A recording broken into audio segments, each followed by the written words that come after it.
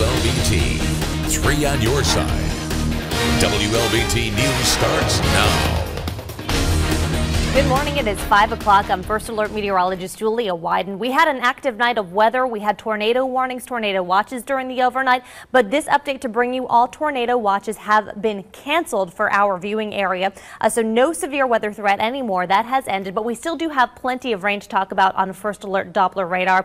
Right now, the leading edge of that rain is currently in the eastern portion of Mississippi. That's over towards Meridian. The back end of the rain is making its way towards the I-55 corridor. Now, even though the rain is is ending from west to east. We have totaled about two to five inches of rain during the course of the overnight. So there is still that possibility for flooding as you head out the door this morning. Want to make sure you stay safe. And we're going to continue to bring you updates on what to expect through the day as we head throughout the course of the morning. All right, Julia, the inclement weather this morning may cause some slick roads as you're headed to work and school this morning. Yeah, Jewel Hillary joins us live on the road this morning with a look. Good morning, Jewel.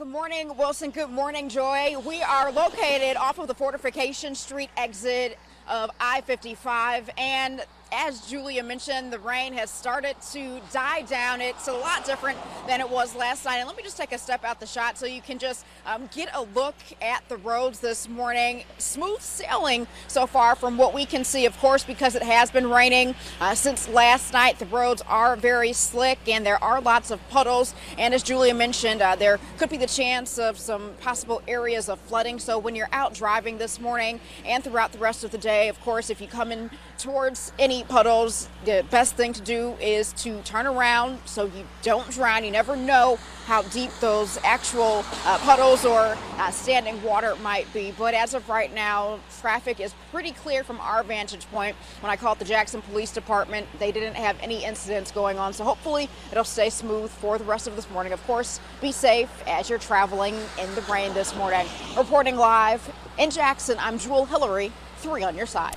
All right, Jewel, in Pearl, two westbound lanes of Interstate 20 had to be shut down during last night's storms.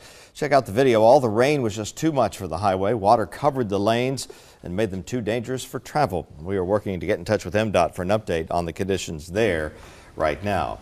And right now, people in about 6,000 households are waking up without electricity. And most of the customers are in Hinds County with a little over 1,600 folks in the dark. Madison County has close to 1,000 and there were about 779 customers in Warren County, 476 customers with no electricity this morning in Rankin County. Entergy crews are working across the state to restore power to these areas. And power is back on at Highland Village this morning after the shopping center lost power during last night's storms. Restaurants like Char, Bravo, and stores like McDade's and Whole Foods closed early because of the outage, which happened around 8.30. We're told that two women were stuck in an elevator at one point but they made it out safely. And in Ridgeland, police confirm a tree fell on a power line on Post Road and Rice Road.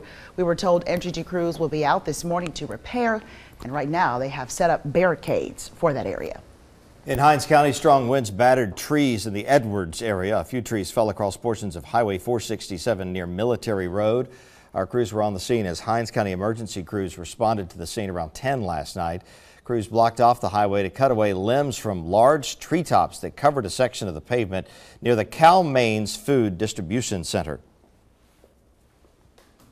This stretch of highway has four trees that has fallen and one we can't get to and uh, get up because the power lines are in it. We're waiting on Entergy to get in and take care of that and we're going to have the highway cleared again. So far, there have been no reports of injuries or damage to structures in that area. And for continuing coverage, of course, stay up to date on the latest weather conditions and be sure to download our First Alert weather app and visit our website, msnewsnow.com.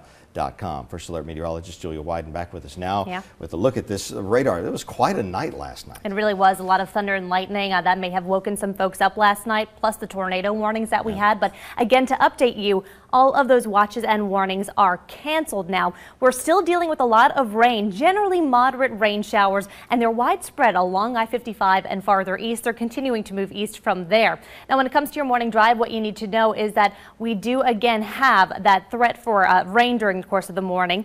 I'm expecting that it's going to start to end by around 9 a.m. or so in the metro area. But again, this will impact your morning commute. The temps currently in the mid 50s. The showers are going to be clearing up by around midday today and is going to be, going to be a whole lot nicer. Now, we did have some reports of storm damage during the overnight. Meteorologist Heather Sophia is here right now. I'm going to join her on over in the Weather Center. Heather, some of these photos that were sent in were pretty impressive. Can you tell us about what we're looking at here? Yeah, what's really neat is actually this picture was taken at night. So how did this happen? We had a ton of lightning that came through with these storms. At one point, we had more than a thousand strikes that were touching down there across central Mississippi. We love seeing your view of the weather. Always be safe when you're doing that. This was sent in from Ralph Miller in Warren County. We love seeing your pictures. The way you can get them to us is by downloading it or, or downloading our app, submitting it through our app. Text the word first alert, all one word, to 340-340, and you can submit it that way. You can also share it with us on Facebook, Twitter, and Instagram because this storm did go through over the night hours, and so you may just be waking up to some of this damage. So you can